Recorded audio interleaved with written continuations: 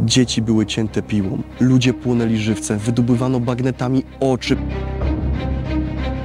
Jak to opowiadam, to Mieli być świadkami strasznych zbrodni po to, aby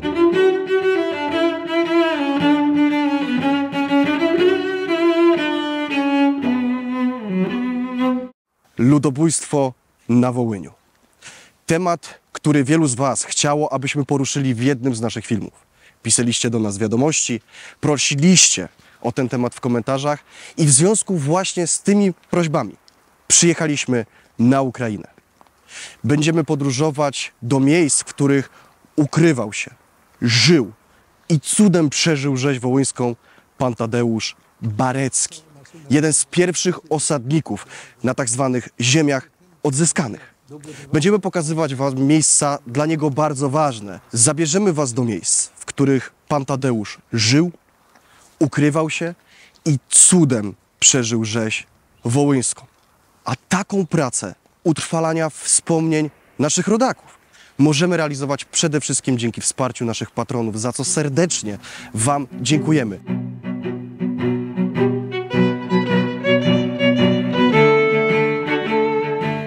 Książkę Lekarze do zabijania Joanny Lamparskiej z odręcznym autografem autorki możecie zakupić w naszym nowo otwartym sklepiku, w którym znajdziecie też oficjalne gadżety History Hiking, jak kubek z niedźwiedziem Wojtkiem, ciepła bluza, koszulki czy bawełniana torba.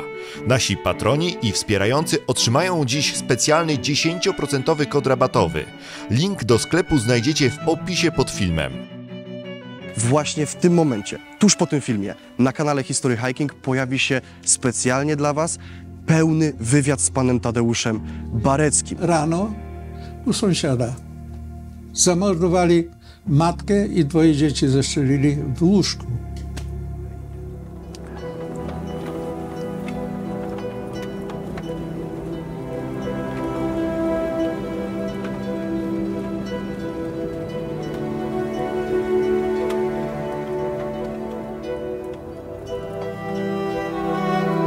Wieś Jaśniszcze w obwodzie lwowskim. To tu urodził się i wychowywał pan Tadeusz Barecki. Przyjechaliśmy tutaj z misją. Rozmawialiśmy z panem Tadeuszem i bardzo prosił nas, abyśmy odnaleźli jego przyjaciela, którego do dziś bardzo pamięta, Józefa Barana. Przyjaźnił się z jego bratem, a Józefa spotkał już długo, długo po wojnie tu, w swojej rodzinnej miejscowości. Pan Tadeusz miał do nas jeszcze jedną nietypową prośbę.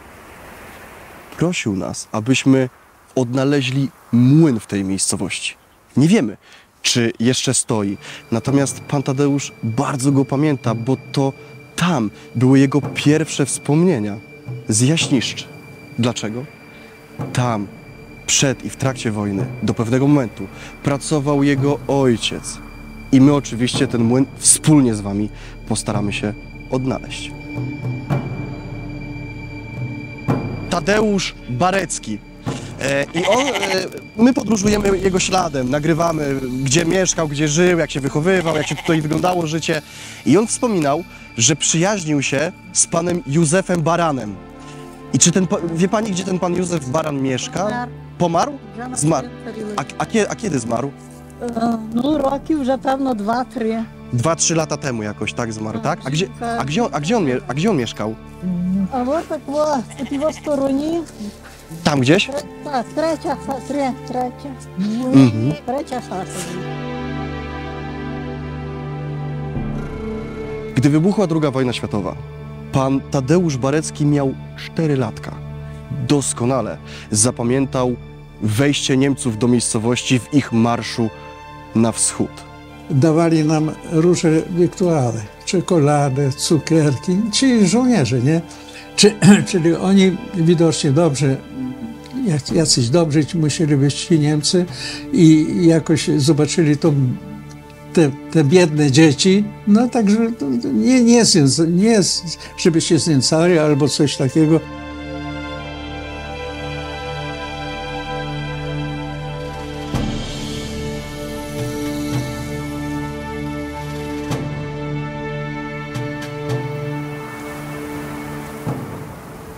Jeszcze przed II wojną światową stosunki Polaków i Ukraińców w tej miejscowości były bardzo dobre. W zasadzie wszyscy kresowiacy, z którymi rozmawiałem na temat Wołynia, każdą swoją wypowiedź zaczynają tak samo. Przed wojną stosunki między Polakami a Ukraińcami były wspaniałe. Ludzie się żenili, razem biesiadowali, uprawiali ziemię, robili biznesy. Pamiętam opowieść pana Eugeniusza Gryszczuka, niestety już świętej pamięci, który mieszkał w Chorochowie. I on opowiadał, że przed pojawieniem się totalitaryzmów, Sowietów, Niemców, nikt nie patrzył na swoją narodowość, wyznanie czy pochodzenie. Wszyscy żyli ze sobą w zgodzie. Później się żenili, bo między, mój, między innymi mój wujek ożenił się z e, Ukrainką, nie? Takie były mieszane tego. Żyli w zgodzie. I tak mieszkańcy wsi Jaśniższe trwali w spokoju i w zgodzie do 1943 roku. Wtedy ojciec pana Tadeusza zostaje wzięty do wojska, a na horyzoncie polskich mieszkańców już straszą coraz bardziej widoczne czerwono-czarne sztandary. Tylko podczas powstania będzie okazja wynieść dosłownie do nogi polski element z zachodnich ukraińskich ziem i w ten sposób zakończyć polskie pretensje. Polski element, co będzie stawiać czynny opór, musi ulec w walce, a resztę trzeba sterroryzować i zmusić do ucieczki za Wisłę. To słowa Michaiło Kołodzińskiego, ukraińskiego nacjonalisty, który tak o Polakach pisał w ukraińskiej doktrynie wojskowej. Ta nienawiść, która rozlała się na Wołyniu, ale nie tylko, bo sotnie upad docierały także tutaj, do obwodu lwowskiego. Ta nienawiść była efektem wieloletniej agitacji, nastawianiem prostego większości społeczeństwa do oczyszczania ziem. Polacy, którzy byli mordowani, mieli być świadkami strasznych zbrodni po to, aby już nigdy nie wracać na tereny wyzwolonej Ukrainy. Przez pewien czas było tutaj bardzo bezpiecznie, ale ukraińska armia powstańcza, zbrodniarze, w pewnym momencie dotarli także do wsi Jaśniszcze. W domu Bareckich mówiło się już o tym, że w lasach jest niebezpiecznie.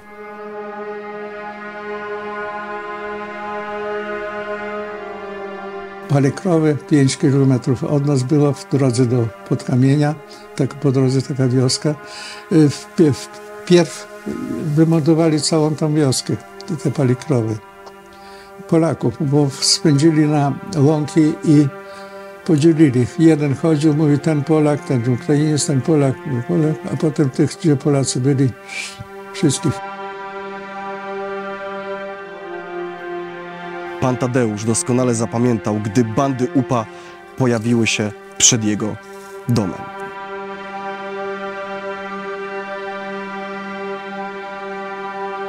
Pewnej nocy, gdy kobieta i piątka jej dzieci, w tym pan Tadeusz, śpią, ktoś wali do drzwi. Ludzie zostają wyrywani ze snu. Kobieta pyta przez drzwi, kto tam? I słyszy, otwieraj drzwi. Jak nie otworzysz, to okno stanie się drzwiami. W pewnym momencie podszedł Ukrainiec, sąsiad, do banderowców, którzy próbowali dostać się do domu rodziny Bareckich. I mówi, chodźcie, zostawcie ich w spokoju, tu dobry Polak mieszka. Poszli. Ojciec pana Tadeusza prowadził młyn i sklepik. Był bardzo dobrym gospodarzem. I jeśli ktoś nie miał pieniędzy, także ukraińscy sąsiedzi, to często dawał na zeszyt. Ten, który odciągnął uwagę banderowców od rodziny Bareckich, doskonale to pamiętał. Rodzinie udało się uratować życie.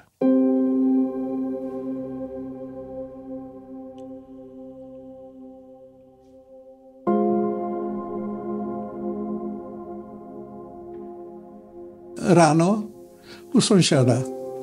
Zamordowali matkę i dwoje dzieci zestrzelili w łóżku. Jak, jak to opowiadam, to coś coś we mnie takiego zawsze powstaje, że Pan Tadeusz opowiadał też o polskiej rodzinie Ungerów. Banderowcy pukają do ich drzwi. Kobieta, sama, z dziećmi, Pyta się, kto tam. Słyszy rzechony sołtys, żeby otworzyła drzwi. Męża nie było. Nawet nie miał kto tych rodzin bronić, bo wszyscy byli w wojsku polskim. Banderowcy tym wiedzieli. Dlatego nachodzili w domu rodziny, których nie miał kto obronić. Pytali o mężów, co było absurdem, bo część z nich wiedziała, że przecież walczą na froncie. Gdy pani Unger otworzyła drzwi, zobaczyła bandytów z karabinami i nałożonymi bagnetami. Wyrywali dzieci z rąk, mordowali wszystkich. Przeżył tylko siedmioletni Piotruś, który po wojnie opowiedział o tej masakrze. Przed tym, gdy zamordowali dzieci Ungerów, zapytali kobiety tylko o jedno. Czego sobie życzysz? Masz ostatnią prośbę. Ona powiedziała, że chciałaby pożegnać i pobłogosławić swoje dzieci. Dwudziestoletni banderowiec zgodził się, po czym wszystkich zabito. Ten młody banderowiec skierował karabin w stronę mamy i oddał trzy strzały. Mama osunęła się na podłogę. Następnie skierował w stronę śpiącego braciszka. Strzelił dwa razy. Zaraz zabił moją siostrzyczkę. W końcu karabin przyłożył w moją stronę. Patrzyłem na niego. Bandyta oddał dwa strzały i straciłem przytomność. Po jakimś czasie obudziłem się, cudem ocalałem. Moja siostrzyczka, która leżała koło mnie, jeszcze się ratowała, rączkami drapała ścianę, chcąc się podnieść. Chciałem jej pomóc, ale skonała przy mnie. I jego poszczelili w nogę. On udał, że on już nie żyje. No i w nocy wycofał się do sąsiada. I sąsiedzi go uratowali, no bo był kruwatok i tego, nie? Zbrodnie, jakich dopuszczały się sotnie UPA na Wołyniu, a także w obwodzie lwowskim i w innych regionach Ukrainy, były do tego stopnia okropne, że nawet Niemcy byli w szoku, że tak można potraktować drugiego człowieka. Dzieci były cięte piłą, ludzie płonęli żywcem, wydobywano bagnetami oczy, wrzucano Polaków do studni. Mordowane były całe wioski. Kobiety, dzieci, starcy. Każdy Polak, który żył na Wołyniu, miał wiedzieć, że na ziemię tak zwanej oczyszczonej Ukrainy już nie ma po co wracać. Po tej strasznej nocy rodzina Bareckich znalazła schronienie u ukraińskiej rodziny. I pan Tadeusz mówił, że byli dobrzy ludzie, że byli ukraińscy sąsiedzi, którzy pomagali Polakom. Ukrywali się przez pewien czas, a banderowcy mordowali także Ukrainki, które wybrały sobie na mężów Polaków. Pan Tadeusz opowiadał o pewnej Ukraińce, żonie niejakiego Krawczyniuka, którego dziecko zostało zamordowane, gdy kobieta trzymała je na rękach. Bareccy musieli uciekać. Tylko gdzie? Wszędzie grasują banderowcy, którzy napadają na wsie. W lasach w straszny sposób mordują Polaków.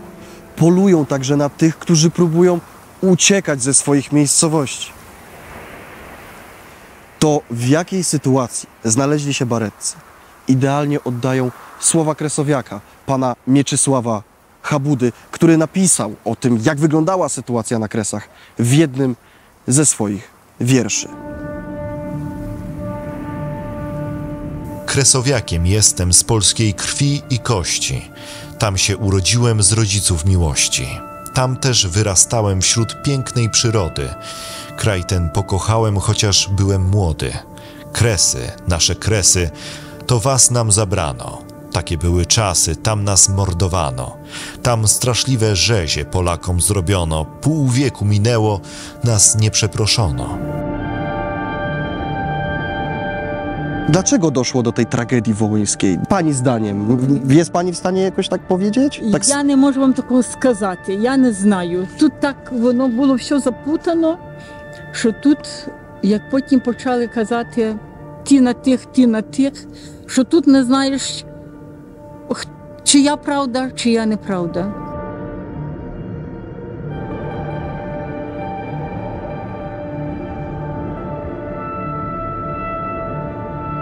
Po długich poszukiwaniach odnaleźliśmy grób Józefa Barana. Niestety zmarł sześć lat temu. Chwilę wcześniej spotkał się z nim Tadeusz Barecki. zdążyli się jeszcze zobaczyć przed śmiercią Józefa.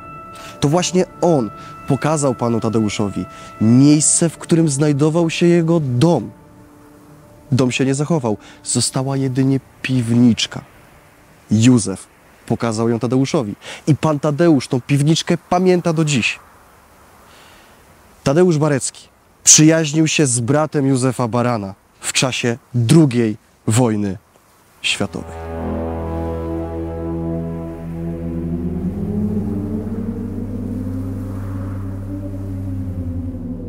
Po zbrodni we wsi rodzina Bareckich znalazła schronienie ukraińskiej rodziny. Ukrywała się przez kilka kolejnych dni. Matka pana Tadeusza w pewnym momencie podjęła decyzję, że wieś musi opuścić. Ponownie udała się do sąsiada, ukraińskiego gospodarza i poprosiła go o pomoc. Zapytała, czy może ich wywieźć w bezpieczne miejsce do podkamienia. Sąsiad mówi tak, Józiu, bo moja mama miała, ma, już nie żyje, Józefa. Y, Józiu, ja ci nie zawiozę. Ja tobie dam wóz, ja tobie dam konia, a ty zabieraj. No i mama całą swoją ferajdę po prostu się bał. On, nie, on da wszystko nie, bo, bo wszystkich tych Polaków, którzy tam z Ukraińcami jakoś, to próbowali też Ukraińców tam zlikwidować, no bo, bo, bo to, to, to jest, to jest ich, ich wróg. Otrzymała od gospodarza transport. Udała się do podkamienia. Wzięła ze sobą krowę, żeby mieć czym karmić swoje dzieci. Jechała sama z piątką małych dzieci. I jadąc, mówiła sama do siebie, błagała. Boże, oby tylko mnie nie zatrzymali, oby tylko nie pytali, czy ja Ukrainka, czy Polka i żeby moje dzieci umiały się przeżegnać. Tak, banderowcy tak sprawdzali, kto Ukrainiec, a kto Lach. Jeśli ktoś nie umiał się przeżegnać po ukraińsku, był od razu mordowany.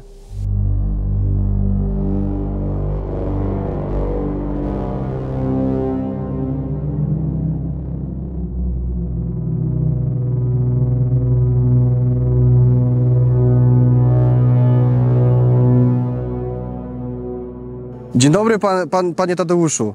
No, od, odnaleźliśmy młyn, e, w którym pracował pan, pana tata. E, ni- niestety jest już całkowicie odnowiony z tych rzeczy, które pan by mógł pamiętać. Nie zachowało się tak naprawdę nic, ale no, rozmawialiśmy nawet z gospodarzami, którzy, jak się okazuje, w ogóle e, nawet kojarzą nazwisko Bareccy. Tak, jeden z gospodarzy mówił nam, teraz mieszka w Brodach, jego dziadek kojarzy nazwisko Bareckich, więc tutaj gdzieś ta pamięć jest wiecznie żywa, natomiast cały budynek młyna no, jest już odnowiony, już nie wygląda tak jak, tak, jak wyglądał kiedyś. Ale zrobimy na pewno panu zdjęcie, prześlemy panu zdjęcie. Udało nam się odnaleźć e, grób e, pana Barana, no i teraz odnaleźliśmy młyn, także no, sz- szlakiem pana historii podążaliśmy i wszystko udało nam się odnaleźć. No to, to bardzo, bardzo ładnie. Tak, a tak, tak pom- pomijając wszystko, to jest tu po prostu przepięknie. Tu jest przepięknie. No, wie pan, tam chodziłem, chodziłem, jak ojciec mnie zabierał ze sobą, bo tam były kilku tych młynarzy, no i tam mieli wspomniane jakieś te swoje, nie? No to każdy tam, no i ojciec mnie tam od czasu do czasu zabierał, żeby zobaczyć, jak to tam, jak to światło się świeci, no bo wtedy to nie było światła elektrycznego, tylko wiadomo, nafta albo, albo jakieś tam te świece, nie w domu. A tam to już było byłem oświetlone, no tak, że to działało jak trzeba. No, no, no to po prostu wraca to wszystko. No i chciałoby się, chciałoby się tam być. O. Sprawimy, wykonamy zdjęcia, że pan powróci wspomnieniami raz jeszcze do, do, do swojej rodzinnej miejscowości.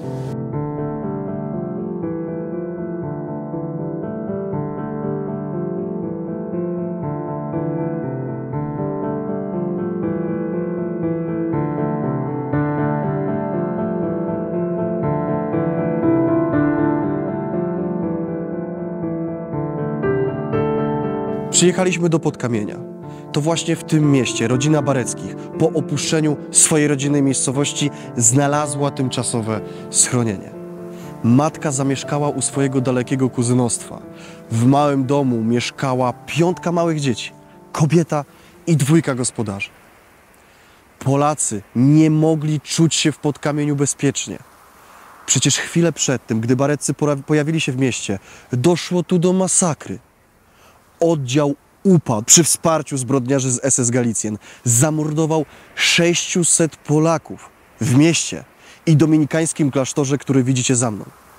Bandy upa siekierami dobijali się do środka. Zagrozili mieszkańcom, że jeśli nie opuszczą, wymordują, że jeśli nie opuszczą klasztoru, zamordują wszystkich. Oddalili się dopiero wtedy, gdy z klasztoru padły w ich kierunku strzały z dwóch posiadanych przez polskich obrońców karabinów. Banderowcy zażądali opuszczenia przez Polaków klasztoru, gwarantując, że wszyscy będą wolni, nic im się nie stanie. Kiedy tylko Polacy wyszli ze świątyni, od razu do nich strzelano, wymordowano wszystkich.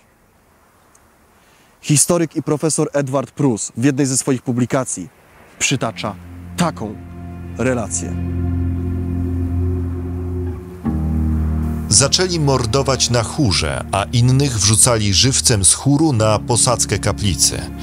Jęk, płacz, dochodził z font palących się włosów ludzkich, krzyk, sceny, którym piekło mogło pozazdrościć. Rodzina trwała tak przez długi czas, w ciągłej atmosferze strachu o własne życie. I przez cały ten czas towarzyszyła im niewyobrażalna wręcz bieda. Dopiero w 1945 roku matka pana Tadeusza otrzymała kartę ewakuacyjną i w tym momencie rozpoczęły się ich starania, aby opuścić tę ziemię i znaleźć się w Polsce.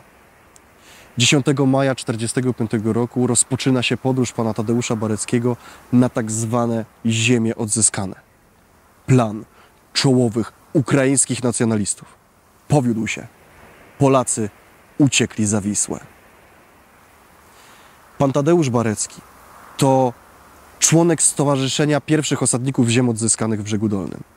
Izba Pamięci jest cały czas wzbogacana przez rzeczy, które związane są bezpośrednio z jego historią, z jego tułaczką, a także z dramatami. Ten odcinek chcielibyśmy zadedykować właśnie panu Tadeuszowi i wszystkim ofiarom rzezi wołyńskiej.